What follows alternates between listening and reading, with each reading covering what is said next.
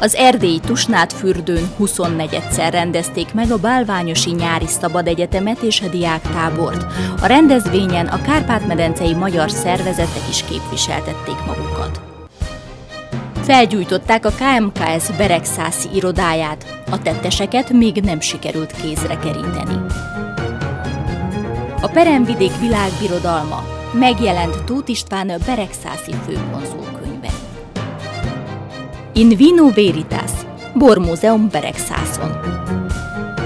Élet Krisztus és a magyarság szolgálatának szentelve, munkács díszpolgárává választották Gulácsi Lajos nyugalmazott református püspököt. Tartsanak velünk!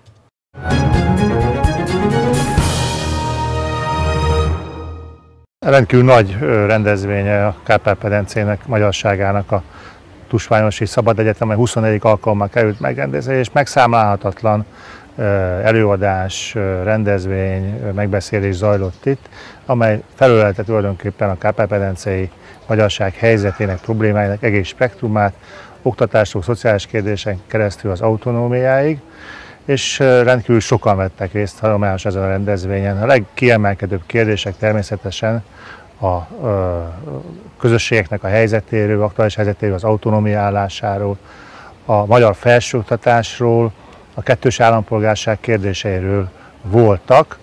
Ezeken a találkozókon minden egyes régió elemezte azt a helyzetet, amiben jelenleg van. Ezek természetesen mindig különbözőek mindenfajta kérdéskörben, hiszen még mondjuk Erdélyben vagy pedig a Vajdaságban különösebb gondok a kettős állampolgárság kérdésével nincsenek, addig Szlovákiában, Felvidéken és Kárpátalján jelent bizonyos fajta gondokat, problémákat.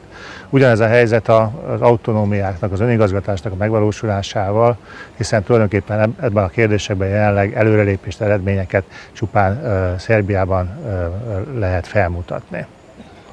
Ami Kárpátalját illeti, természetesen elmondtuk azt, hogy a helyzetünk nem különösebben rózsás, azonban történtek, történnek olyan dolgok, amelyek előre viszik az ügyünket. Itt gondolhatnánk arra, hogy problémák ellenére is folyik az állampolgárságnak a kiterjesztése Kárpátalján is. Másik a stratégiai szerződés, amit a magyar kormány a főiskolával írt alá, biztosította a főiskolánk a fejlődését és a megmaradását, illetve a keleti partnerségben is jelentős eredményeket tudtunk felmutatni a oktatási és kulturális intézmények felújításának terén, ugyanakkor olyan kérdések, mint például a nyelvtörvénynek a életbeléptetése magyar nyelv vonatkozásában sajnos még nem történt meg. Hát tulajdonképpen ez egyfajta szellemi műhely, ahol jelen vannak a magyarországi politikusok, kisebbségi szakértők és határmenti magyarságnak képviselői, és nagyon sok olyan felvetés, ötlet, amely itt a Szabad Egyetemen, illetve a Kárpátai Szabad fogalmazott meg, lépett később életbe. Úgyhogy ilyen konkrét eredményekről nem tudunk most jelenleg beszélni, azon minden lényeges kérdésben eszmét tudtunk cserélni a magyarországi illetékesekkel.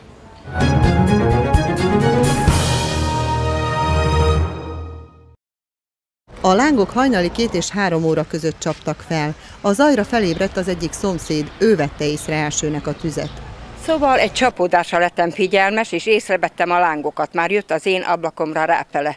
És akkor szóltam a szomszédnak, és ő csengetett a tűzoltóságra. Az utcában a járókelők némelyike úgy véli, hogy nem szándékos volt a magyar székház felgyújtása. Nem hiszem, nem hiszem, hogy direkt volt ez meg, mert még sose nem történt ilyen. Az iroda közelében lakó egyik szomszéd viszont, aki az oltásban is részt vett, másként vélekedik. Villanyosok is megállapították, hogy sehol nem voltak semmi, rövid zárat nem lehetett, a gáz el volt zárva, csak valaki bedobott valamit. Az épület közelében lakik az egyik Beregszászi lap újságírója, aki azonnal a helyszínre sietett. Amire ideértem, akkor az oltást pont befejezték a tűzoltók, és a rendőrség munkatársai helyszínelni kezdtek. Nagy következtetéseket egyelőre nem tudtak mondani, az viszont látszott, hogy szándékos gyújtogatás eredményeként gyulladt meg itt az ablak. Ezt az ablakot törték be egy téglával az elkövetők, majd gyúlékony anyaggal lelocsolták a padlót és belobbantották. A tűzoltók, hogyha pillanatokon belül nem értek volna ide, akkor ez az épület és a szomszédos épületek is porrá égtek volna. A KMKS iroda három hete költözött át Beregszász másik város részébe, de a régi épületben, amelyben később vendégházat szeretnének kialakítani, még maradtak archív dokumentumok. Úgy gondolom, hogy ha a tűzoltók nem érkeztek volna időben, és a szomszédi nem vette volna észre, akkor hatalmas baj történt volna, nem csak az épület, dokumentjaink is megsemmisültek volna. Teljesen értetetlen, mert Beregszáz mindig a béke és a tolerancia városa volt, és Hát talán nem tetszik sokaknak, de tény, és szeretném leszögezni, Beregszázban azért még mindig a magyarok vannak többségben. Ungári Petőfi szobor, Beregszászi Petőfi szobor, szobodás tüntetések, újabb célpontot találtak maguknak a szélsőségesek, hogy a magyarságot ismételten megtámadják. Bocskor László, a KMKS Beregszászi szervezetének vezetője szerint sem véletlen baleset történt. Nyílt támadásnak vélem ezt a dolgot. Nyilvánvaló, hogy éjszaka két órakor az ember benzines flakonnal nem jár meg téglával a kezében, hogy gyújtogasson véletlenül. Ez nyilvánvalóan nem véletlen volt, ez egy szándékos gyújtogatás volt. Az eset már csak azért sem lehet egyszerű garázdaság, mert a napokban használaton kívül helyezett iroda épületére ki van tűzve a magyar és az ukrán zászló, illetve a KMKS feltűnően nagy logó logója. Kárpátalján az elmúlt években folyamatosan támadás éri a magyarságot. Magyar jellegű objektumok azok mondhatni sorozatban válnak gyújtogatás áldozatává a Beregszászi Petőfi szobortól a Verecki emlékművel bezárólag. Ezért az a gyanom, hogy itt is egyértelműen politikai jellegű motivációról van szó. KMKS vagy magyar ellenes elemek döntöttek úgy, hogy ilyen módon fejezik ki a véleményüket. Bár a jelek szándékos gyújtogatásra utalnak, ezt csak a szakértői vizsgálat erősítheti majd meg. A rendőrség a nyomozás befejeztéig az ügyel kapcsolatban nem nyilatkozik.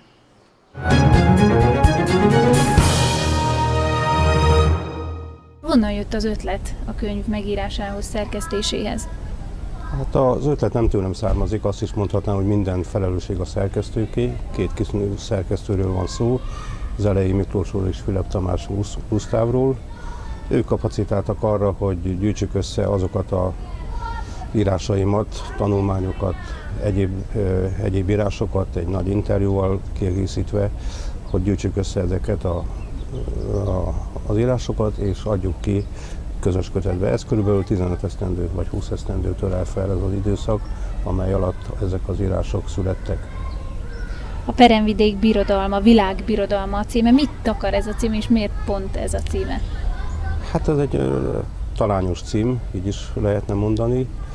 Ugye ez utal arra, hogy én hol születtem, illetve utal a, a, a korábbi államnak, a főhatalomnak a, a státuszára, tehát a Szovjetunió világbirodalmi célokat tűzött maga elé, folyt a nagy verseny a két világhatalom között, és hát itt én magam pedig itt a peremvidéken, a Szovjetunió nyugati peremvidékén éltem napjaimat, Kárpátalján, így jött össze, azt gondolom, ez a megfejtés.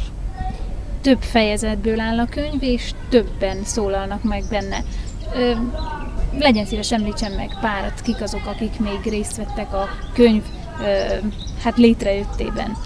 Hát a két szerkesztő, illetve hát maga a könyvkiadó, a Méri Ráció kiadó, Dunaszerdőhelyi székhelyű ez a kiadó, és rendkívül elegáns könyveket ad ki, tehát örülök, hogy az én könyvem is ebben a sorozatban jelent meg. Azon kívül az ünnepi könyvhétre megjelentetett ez a kiadó, a Prominoritáta Alapítványal együtt, még három könyvet, egy, egy délvidéki témájú, egy nemzetstratégiával foglalkozó könyvet, valamint a, Párizs, a Párizsi békaszerződésről szóló feljegyzéseket. Talán ez a fejezet a drusba kötve áll hozzánk a legközelebb, hogyha jól gondolom. Mit akar ez a fejezet? Hát ez is egy költői, költői cím. Ugye a drusba kifejezés az az rendkívül, rendkívül népszerű volt a Szovjetunió idejében, tehát itt voltak mindenféle leágazásai a, a, a drusba kifejezésnek, tehát amikor Magyarországról turista csoportok jártak, természetesen nagyon szervezetlen a Szovjetunióba, akkor a drusbázás az egy külön fogalom volt, tehát ez azt jelentette, hogy össznépi mulatság, az ezzel járó alkohollal, és hát bizony a, a, a, a, egyrésztről itt van a drusba, de hát arra is utal ez a cím, hogy nem voltunk szabadok. személyes élményei jelennek meg ebben a könyvben, ha jól tudom. Igen, hát az elején Miklós készít, készített velem egy mély interjút, azt ez a kötetnek az egyik, egyik része.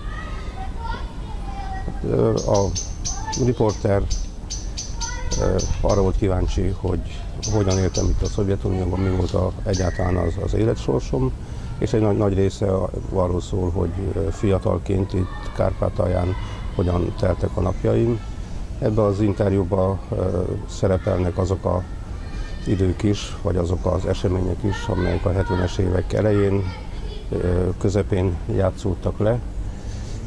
Itt volt ugye ez a, akkor nem tudtunk erről, vagy nem így hívtuk, hogy polgárjogi mozgalom, amelyet itt a Kárpátai, a Szovjetunióbeli magyarság sorsa iránt érzett felelősségtől hajtva működtettünk, illetve hát voltak ennek, ennek az egésznek egy kimagasló alakjai, néhai Kovács Vilmos, vagy Fodó Sándor, vagy Esbenedek András nevét lehetne itt említeni. Ez egy mozgalmas időszak és emlékezetes időszak volt mindjárt számára, és meghatározó időszak is volt, hiszen itt arról szólt ez az egész történet, hogy a, a némileg tudatosan, tehát ilyen kezdő értelmiségiként, egyetemistaként úgy gondoltuk, hogy a Szovjetunió kitűnő alkotmánya van, kitűnő jogrendszere, és ne, nekünk nem, meg pedig nem kell félnünk, tehát tudatosan nem féltünk. Az előző nemzedékeknek bizony voltak nyomasztó emlékei a szovjet megszállásról, vagy a Szovjetunióhoz való csatolási időszakából, de mi ezt e, tudatosan nem akartuk a félelmet, tehát úgy gondoltuk, hogy szabadon e, kommunikálhatunk a, az ország vagy a birodalom vezetésével. Ennek egyik példája volt az, hogy a elkészült egy, egy beadvány a Szovjetunió Központi Bizottságához, amelyet, amelyet ugye elküldtünk Moszkvába. Panaszok, ez a, ez a beadvány megjelent, tehát olvasható, megmaradt és olvasható. Ebben a beadványban arról volt szó, hogy milyen sérelmei vannak, hogy a kárpátai magyarságnak mit akarunk a közigazgatásban, a közoktatásban, oktatásban, mit kívánnánk látni és ezeket aláírtuk és terjesztettük, a, a, és elküldtük a legfelső helyre, ahonnan vidáman visszaküldték ide az érintetteknek, hogy oldják meg a problémát. A probléma megoldása az volt, hogy itt néhányunkat retorzióért büntetésből elvittek katonának bennünket. Hát, Ez de, az egyetemi évek alatt? Igen, egyetemi, az egyetemi évek alatt. Tehát úgy, ez elég egyszerű volt kettőnket vittek el ebből az alkalomból, Vári Fábián Lászlót, és engemet nagyon egyszerű volt a dolog, meg kellett buknunk, és mehettünk is katonának. Azt hiszem több személyes emlék is volt, ha jól hallottam, Fodó volt a tanára. Igen, hát ez is egy érdekes dolog volt, tehát a, ez is a nem férésnek vagy a bátorságnak valami jelképes, jelképe vagy próbája volt. A 1976-ban egy Rákóczi forduló alkalmából összegyűltünk, hogy megemlékezzünk a nagy fejedelemről. Fodó Sándor lakásán került egy magyar zászló is valahonnan, amit úgy szintén Fodó Sándor hozott, és az zászló alatt ottan beszélgettünk, jól együtt voltunk, és ha csüngött a telefon, akkor Fodó Sándor némi kajársággal a hangjában beszólt, felvelt a kajdót, és beszólt, hogy Rákóczi Bizottság. Tehát akik ezt hallgatták, az minden alkalommal, minden hívásnál értesülhettek arról, hogy ott mi történik. Hogy jelent meg a hétköznapjaiba, napjaikba a Szovjetunió hatása? A kor sok mindent megszépít, és egy, elég sokan hajlamosak arra, hogy a, erre a időszakra, akár a Szovjetunió, vagy akár más szocialista országban úgy emlékezzenek, mint a biztonság korára. Tehát Elvileg nem volt munkanélküliség, csak hát mégis volt munkanélküliség abban az értelemben, hogy a gyárakban nem folyt a, a, a, a munka. Tehát ez egy, ez egy látszat, látszat dolog volt, és ez, ehhez társult az, hogy bizony a bizonyos témák tabu témák voltak, tehát az állampolgár nem gondolkozhatott szabadon, nem lehetett véleménye erről vagy arról a dologról, és ezt egyesek viselték, tehát fel se tűnt talán nekik, de az értelmiségiek azok, azok nehezen. Tehát valahogy így éltünk, és azokban az években, meg, meg én is éltem, ugye hát a szovjet irodalomban meg ilyen föld alatti mozgalmakban azért még, ezek mégiscsak elindultak, megjelent Szorzsenyicin nagyműve, a Gunák sziget vagy más művek, megjelent itt Kárpátalján Kovács Vilmosnak a Holnap is élünk című műve, amelyik úgy szintén érintette ezt a korszakot, és ez elég nagy bátorság volt a részéről, mert egy orosz író leírja, ő is, őt is érik megtorlások, de egy kisebbségi író, arról a témáról, amiről egyáltalán nem lehetett beszélni, az még nagyobb bátorság volt, tehát valahogy így jöttünk ilyen felemással. Mi volt a célja a könyv létrejöttének? Mi volt a szándék?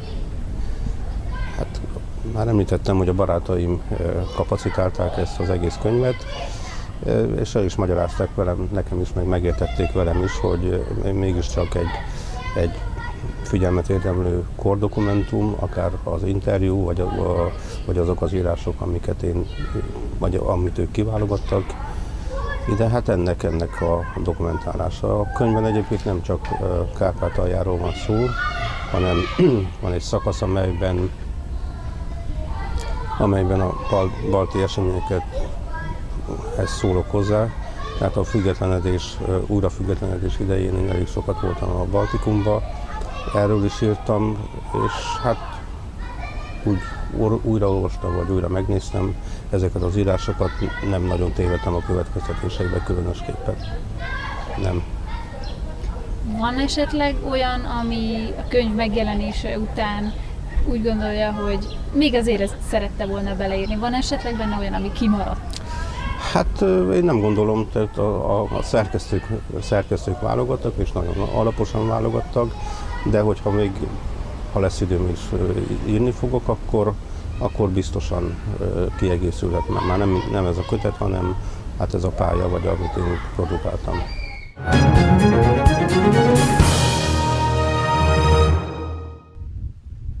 A legfrissebb adatok szerint ma a vidéken az ültetvények 70%-án hibrid Izabella borszőlőterem.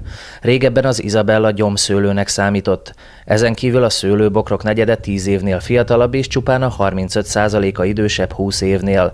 Sajnos ez a szomorú statisztika, de a 2003-ban létrehozott Ukrajnában egyedülálló Szentvencel borrendnek köszönhetően a hagyományok egy része ma is él. Pozitív előrelépés tapasztalható a beregvidéki borkultúra megőrzésében és a helyi borászok munkájának népszerűsítésében a 2000-ben megrendezett első Beregszászi Nemzetközi Borfesztivál révén is. Évente megrendezik, ezzel támogatják a borkészítőket, segítik az európai színvonalú borkészítés megújítását, amely egykor híressé tette a vidéket nem csak országos szinten, hanem világszerte is. Amikor megalakult a Brexászi Szent borrend, illetve már a 13. borfesztiváloknál tartottunk, ezek, ezek nagyban hozzájárultak a borkultúra, tehát minőségi javulásához. Még valami nagyon fontosat, ezernyi szállal kötődünk Magyarországhoz. Természetesen nem csak a borászokról van szó, hanem zöldségkertészek, de művészek és, és, és mindenki más.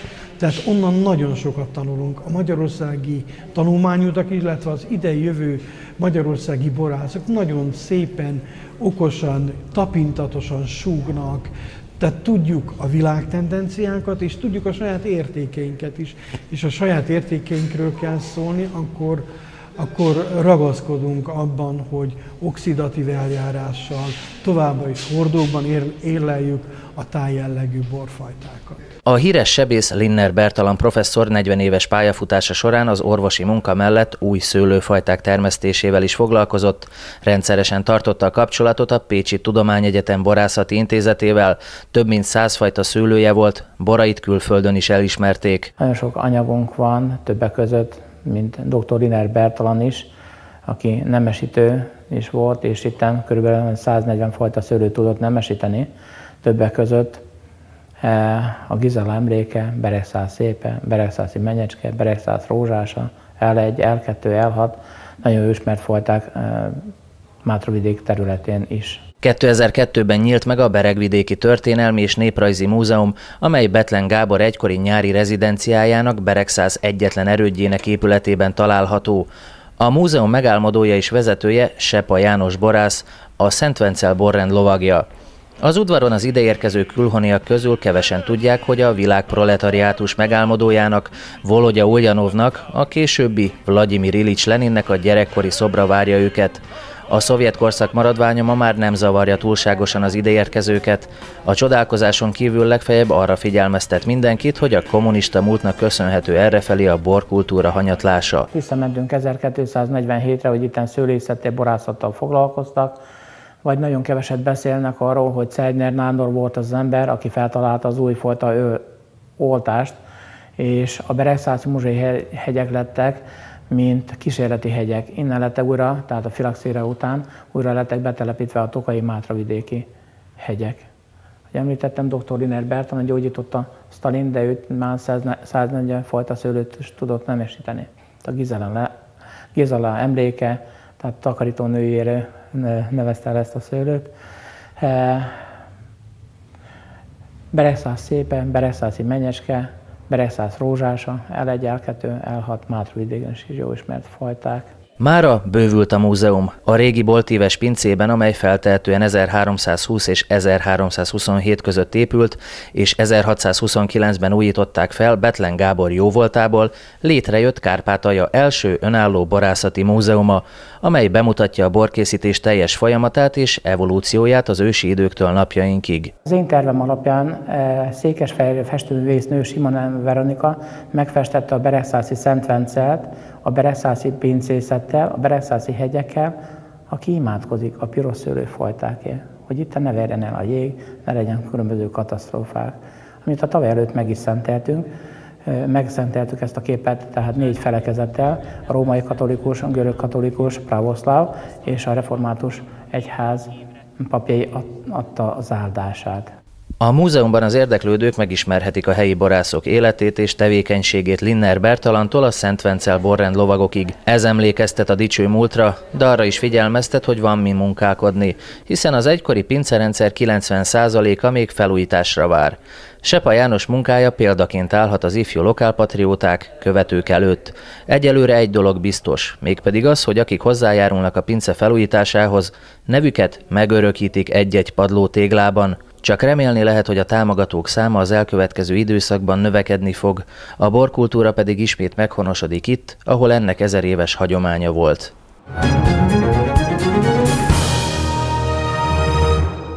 A, a is egyik formája. Gulácsi Lajos bácsi különösebb meghatódottság nélkül mutatja a munkácsi díszpolgárának járó érmét, a múlt évben, arra hivatkozva, hogy vannak erre érdemesebb emberek, nem vette át, a város vezetése az idén már ragaszkodott hozzá, hogy fogadja el. A nyugalmazott református püspöknek valahol biztosan jól esik az elismerés, de nem mutatja. Igaz, jó néhány magas magyar állami kitüntetést, néhány lovakkeresztet is magáénak mondhat, de nem ezért közömbös. Világ életében a közösségért tevékenykedett. Akkor igazán boldog, ha látja a munkája eredményét, segíthet az embereken. Én 1946. január 1-én kerültem munkácsra. Mint kisegítő segédlelkész, az akkori Kovács József keze alá kerültem. Én azóta kisebb megszakítással állandóan munkácson vagyok. És én nagyon sokat munkálkodtam itt, főleg a fiatalság között. Hát ezért tartóztattak le is. Ez volt a vád ellenem, az ifjúsággal való tevékenység a kommunizmus alatt, mert ugye 18 éven adódiakkal nem volt szabad foglalkozni. És én még ezt csináltam. És azt kérdezte a fő ügyész, hogy megbántam, amit tettem. Mondta nekem, mondom, figyelj ide, főügyész, főbíró úr, amit én tettem, ez nem bűn, nekem ezért kitüntetést kéne adni, nem letartóztatni. És azt mondtam neki, és ha élek, amíg a szívem dobog, ezt fogom csinálni. Erre azt mondja a főügyész, hallgassak el tovább egy szót, nem megyek szólni. Mert a utolsó szó jogán megengedték, hogy szóljak. hát itt élet előtt. Hát én akkor azt mondtam, hogy amit csináltam, az nem bűn. Örülök, hogy csinálhattam. De mint hogy az elég már említettem, én ezt nem egyedül csináltam, hanem mindig igyekeztem közösségben munkálkodni. És igyekeztem magam mellé keríteni, szerezni azokat az embereket, akik ugyanúgy munkálkodtak. Elmondtam a polgármesternek, és mondom, nézze, nekem adták, de ez nem csak az én érdemem, amit én csináltam, ez egy közösségnek az érdeme. Hát a közösség nevébe köszönöm és elfogadom. Mert amit csináltam, az egy ajándék volt, és egy isteni kitüntetés, így mondhatnám, hogy csinálhattam. És örülök annak, hogy, hogy még öreg fejjel is csinálhatom, és nekem a munka most sem nehéz. A lábom vacakol egy kicsit, kenegetem, fenegetem, de bottal járok, de amíg tudok, igyekszem megcsinálni, ahova hívnak, megyek, ahova nem hívnak, oda nem megyek, de kihasználom a lehetőséget, főleg, hogy fiatalokkal találkozzak, hogy elmondjam nekik, hogy te is meg fogsz öregedni, de készülj rá. Egészségileg nem tudunk megváltoztatni a természetünket. Ez egy alaptörvénye az életünknek, hogy meg kell öregedni. De gondolatban, lélekben lehet mindig fiatalnak maradni. Én ezért örülök neki, és hálát adok az Úrnak, hogy 89. fejjel még tudok gondolkodni, tudok beszélgetni, és még tervem is van. Hogy mondjam, mint ahogy a nagyapa mondja, hogy halál előtt diófát akar ültetni, ha nem is magának, hanem az unokájának, vagy a dédunokájának. Hát én is így vagyok vele, hogy ültetem a diófát, mert még lesz rá szükség. Lajos bácsi közel a 90-hez is aktív életet él. Teherbírása sokkal fiatalabbak számára is irigylésre méltó, nagyon sokat ír.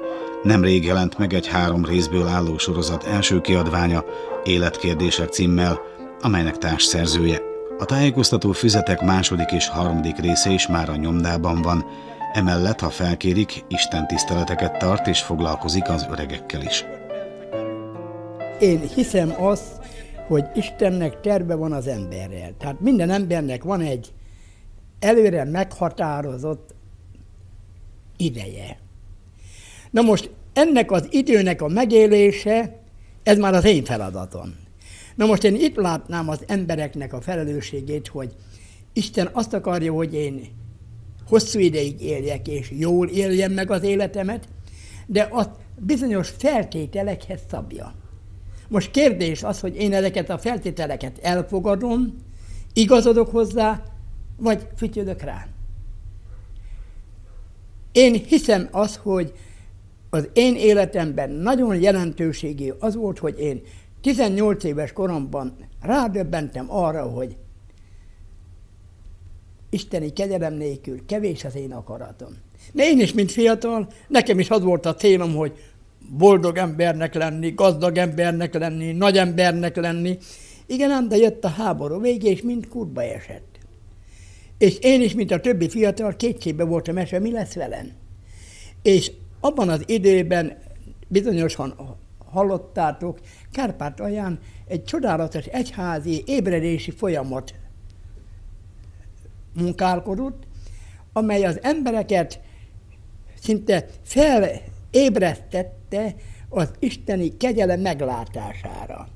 És én, mint fiatal, bekerültem ezek közé, az emberek közé, akik ezt nagyon komolyan vették.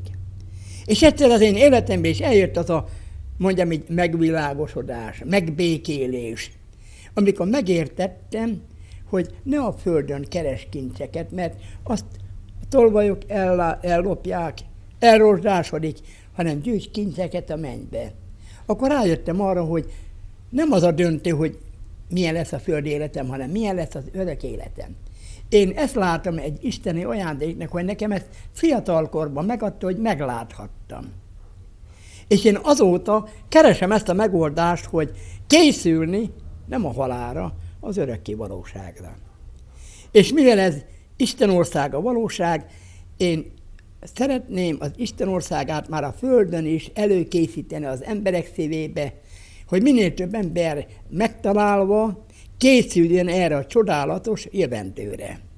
És hadd mondjam el, nekem ez szinte az erőforrásom, hogy, és tapasztalom is, hogy olyan különleges isteni segítséget kapok, olyan erőt, oltalmat, bölcsességet, hogy tudom csinálni. Mert nagy dolog azért, hogy az ember 89 éves korában elmer menni Budapestre, hogy előadást tartson. Ez egy ajándék. De ezt úgy veszem ezt az ajándékot, hogy nem azért van, hogy magamra költsem, hanem hasznosítsam embertársaim javára. Én itt látom az életnek a nagyon lényeges részét, hogy látod az igazi értéket. Mert sajnos nagyon sok ember csalókába van az értékekkel, a földi dolgot, a gazdagságot, a fiatalok a szex, a testi vágyaknak a megélésébe látja az élet örömeit. Valaki pedig a hasába, akinek a hasa az Istene. Mindig enne. De ezek mind elmúlnak. De aki az Isten akaratát cselekszi, megmarad örökké. Ez egy nagyon fontos kérdés. És én próbálom a fiataloknak is elmondani ezt, mert sajnos a fiatalok között nagyon sok a kétségbe esett ember. Sose volt annyi öngyilkos a fiatalok között, mint most van. Pedig nem panaszkodhatunk. Nem mondhatjuk, hogy nem tudom, milyen nehéz az életünk. Hát most sokkal nehezebb is. De ott, ahol nincsen reménység, ott semmi nem tudja megmenteni az embert. Én nagyon fontosnak látnám ezt, hogy ezt a tudatot tovább vinni fiataloknak, de az öregeknek is. Hát mondom, én az öregek között já, munkálkodok, és én látom azt, hogy hogy küzdködnek. Semmi nem jó. Megdöbbentő. Ha meleg van, az a baj, ha hideg van, az a baj, ha fúj a szél, az a baj, ha éhes, az a baj, ha jó van az a baj. Az ennél való, neki mindig más kellene, amit adnak. Érted? Ez az a, mikor az ember nem találja a nyugalmát, nincs békesség, nem tud semminek örülni. Mondta nekik, gyertek ki, nézzétek, olyan gyönyörű a tavasz. Olyan szép virágos kert van ott az öregek otthonában. Olyan gyönyörűk voltak a gyümölcsfák, virítottak. Gyertek, nézzétek meg! Gyönyörködjetek a tavasz szépségébe, ti is meg fogtok fiatalodni, nem létezik, hogy kijöjjenek. Ezért annél jóval keményebb fenyítést is kapott Gulácsi Lajos. 1949. márciusában letartóztatták és elítélték, a hivatalos vád ellene szovjet ellenes tevékenység volt.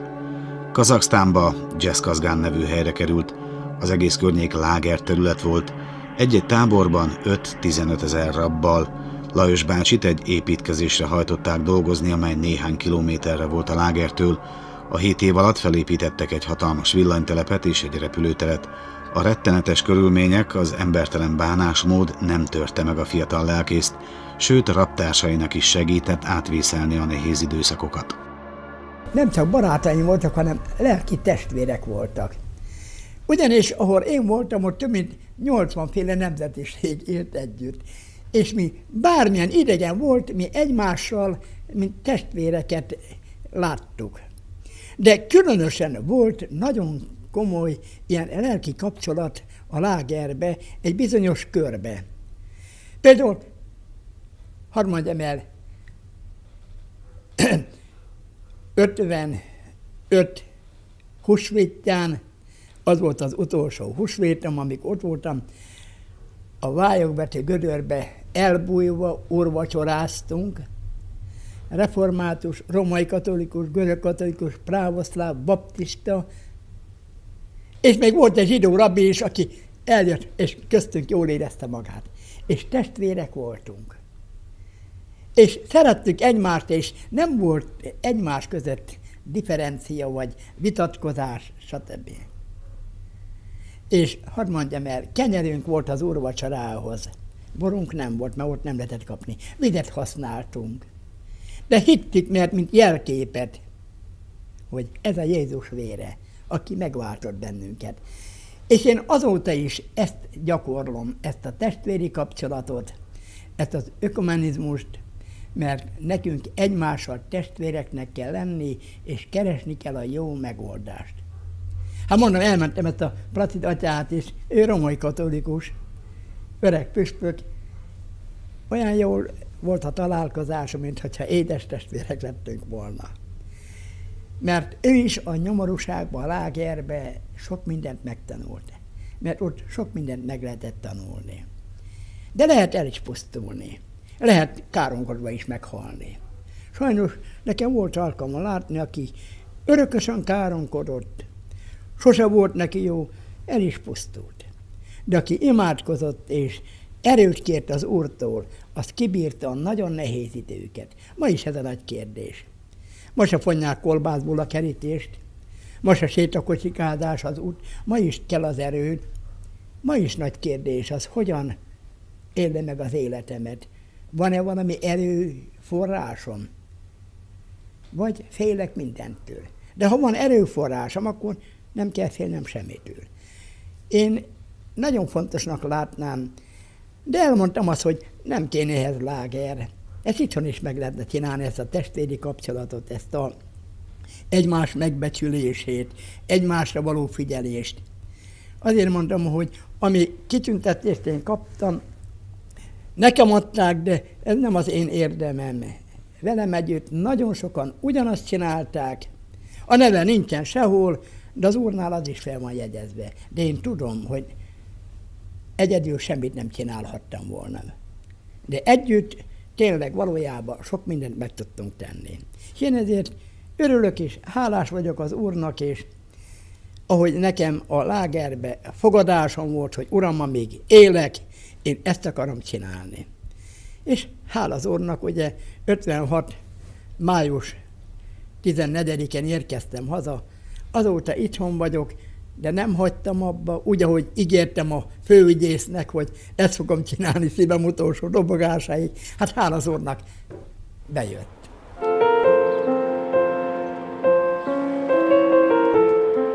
Mi mást kívánhatunk Lajos bácsinak ehhez a munkához, mint azt, hogy tartsa meg az Isten még sokáig közöttünk, jó erőben, egészségben.